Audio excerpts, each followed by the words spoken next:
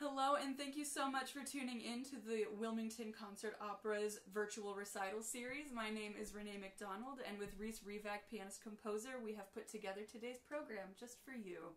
Three of the composers on today's program are personal friends of mine Reese Revak, Griffin Candey, and Tyler Tejada. All three of these composers have very distinct compositional styles but they do all blend together in a way that's very musically satisfying that I thoroughly enjoyed throughout the rehearsal and recording process, and I hope that you will enjoy as an audience member as well.